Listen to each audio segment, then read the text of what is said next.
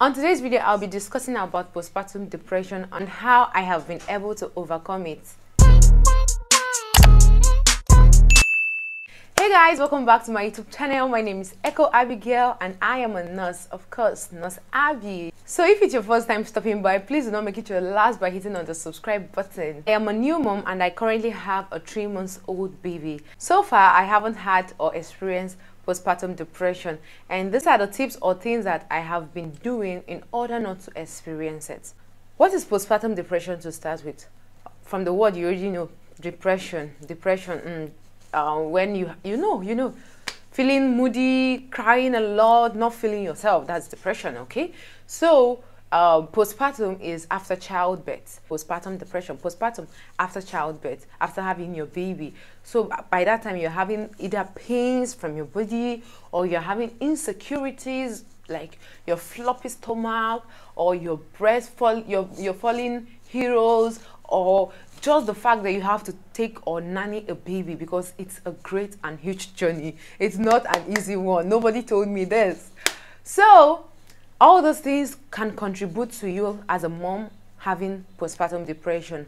And according to study or research, it's been shown that higher risk of women that should experience postpartum depression are first-time moms and also women that are below the age of 25. These are people that are at higher risk to have postpartum depression and I fall between these two ranges. So what are the things I have been able to do? As you can see, this girl is Chloe.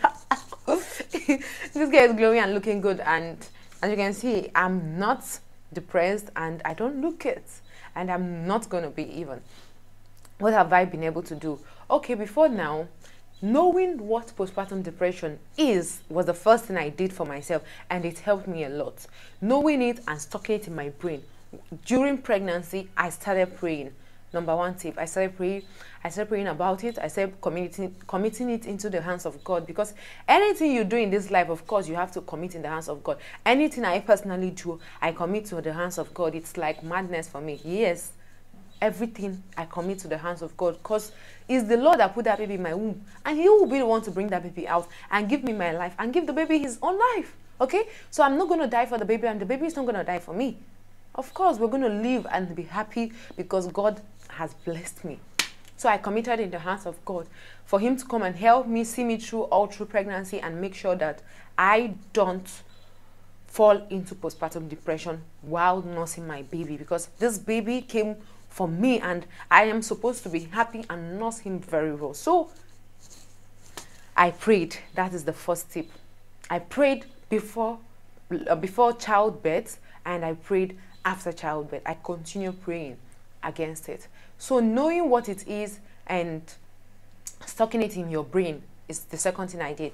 I stocked it in my brain. I told my brain, hey, bro, see, this thing called postpartum depression is not for us and we are not going to experience it. You, you hear me? Talk to that brain. Talk to yourself. It listens. If you... Is my baby crying? Okay, now. It listens. Anything you want your brain, you want this body of yours to do, talk to him. He listens. Seriously. I started talking to my brain like because i know i have tendency of falling into it if i allow myself. Because it's not like it won't come. It will come up. It will come and shake you especially the first one week two weeks of your life after birth. Ah it's going to come here.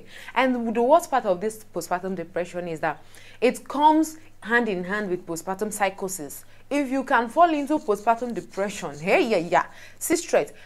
Be very very careful for postpartum psychosis. And postpartum psychosis is the worst of them all. That is when you can start having suicidal thoughts against yourself or against your baby or you start hallucinating things that are not that are never happening. All those things comes hand in hand with postpartum depression but i'm not going to deviate from this video to discuss postpartum psychosis. I'm going to stay here uh, on postpartum depression and discuss it. So the second thing I did was to alert my brain about it and tell my brain, hey bro, we're not going to experience this and we accepted. Me and my brain, we accepted that we're working hand in hand. Another tip I, I had done was having family members over. I had my sister, I had my other sister, I had my mom, I had my husband, and I had my brothers as well. They come and go though, but in the same house, I had those four people to help me nurse the baby. My mom is going to take the baby's bath, like especially the first month of my life after the baby my mommy is gonna take the baby's bath i never i haven't even started bathing my baby to be honest but my baby and my mom is gonna make food for me my sisters are gonna clean the house. Like everyone was just helping me. I would just lie down there and recover and eat. That's the only thing i do i do. And my husband is going to help me press hot water massage hot water on my tummy help me like massage me all these things. Help me give me my meds and help me like take me out. Another thing i did was to appreciate what god gave to me. That is the gift of my baby. Like if you should understand that babies are a gift from god and you look forward especially if you prayed for it. If you did not pray to have a baby and like it mistakenly enters oh my oh my oh my, oh my. but if you prayed for it and the baby is here already see stress. Can you appreciate god? Can you? Because nah it's not an easy thing. It is not so i started appreciating god. I like even if i'm stressed even if it wants to conquer my head like this i'll say no bro. I prayed for this baby. This is the baby i want. Because mm, see if it's the Igbos, they say how they say it that when you appreciate having babies is at your old age. Stop making noise. Is at your old age that you appreciate having babies. So sis it is a gift from god and i appreciate it. This is another tip i use and it helped me take good care of my baby. And yes try to leave that bed. Try to leave that bed. Try to take your bath look good spray your perfume. Even if you're staying at home even if you're staying indoors spray your perfume. That's what i do. I look i try to look good. Like if you look good you feel good. Honestly that is the honest truth. I try to get up from that bed take my bath even if i'm not feeling strong take my shower brush my teeth spray my perfume wear my the clothes I go out with. Because I don't look I no longer go out right? I wear my clothes and feel good. That's it. As uh, like a very very big tip for this thing is try to be in a very happy environment. Because you yourself your body is already giving you sadness. So if you now go and stay around negative people you're gonna you're gonna you're gonna lose your senses street stress. So please please nobody should stress you. Nobody no matter who the person is everyone should stay their own lane and make you happy. That's what everyone should do for you. Everybody everybody including your gate man so yes. So yes this has been what i have been doing and what have kept me going till this point. And hopefully and we know we're gonna pass through all the stages soon.